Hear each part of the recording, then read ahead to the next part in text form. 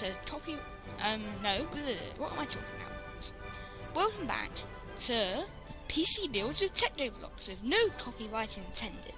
That's what I was going to say, not welcome back to copyright with TechGoBlocks, no PC builds intended. That doesn't make sense whatsoever. But anyway, on with the video. I'm very excited about this build because it is the most expensive build I can possibly think of.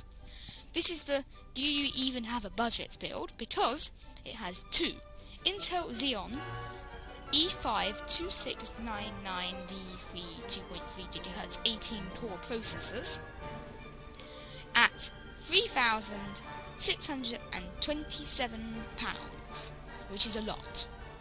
That's more money than I have in my bank account at the moment. So that is how much they are. Next we have the Intel Xeon E5 processor again. So this PC is going to have 36 processing cores, which is a lot. But then if you have the hyper threads, it will have 72 threads. So it's going to be a very powerful workstation and gaming PC. Then altogether that is over £7,000 already. Then we have two Corsair H100i GTX 104.7 CFM liquid CPU coolers at £110 each to provide cooling for our ridiculously expensive CPUs. Then we have the Asus Z10P D16WS SSI EEB dual CPU LGA 2011 3 motherboard, which is £448 almost. So, yep, that is nice and expensive.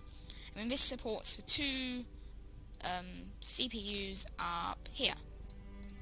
There? What am I doing? Right, there we go.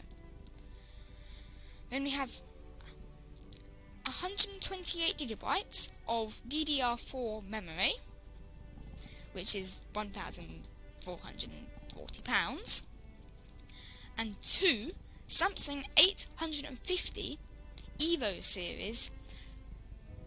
Wait, no, we've got a 250 gigabyte solid state drive, which will be like your OS drive, and then we've got another one terabyte SSD for all your games and stuff.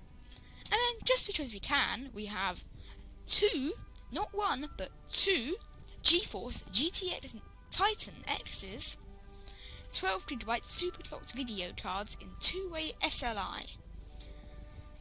And then for the case, we have the Cooler Master Cosmos 2, because it has a cool name, ATX full tower case, um, which is £300.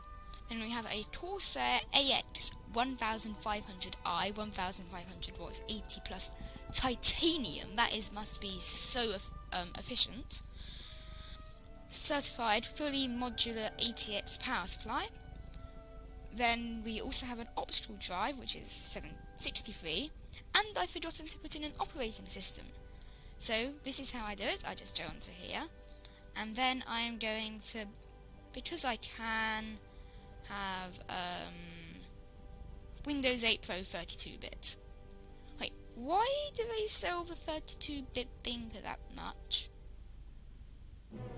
That's weird.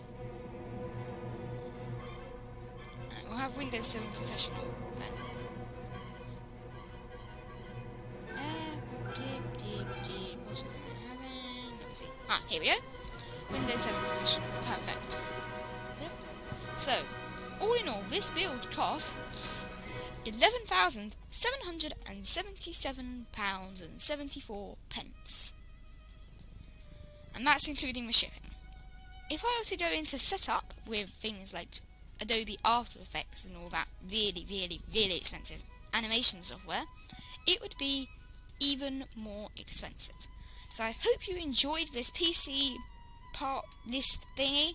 I will put the link to the building with description. So if any of you do have a spare eleven thousand seven hundred and seventy-seven pounds lying around somewhere, go ahead and build this PC it will run any game, any piece of software. Because this is like the most powerful things you can get right now. So, thanks for watching this video. Remember to like, comment, and share this with your millionaire friends. If you have any, that is. Of course, I mean millionaires, not friends. Right, so, anyway.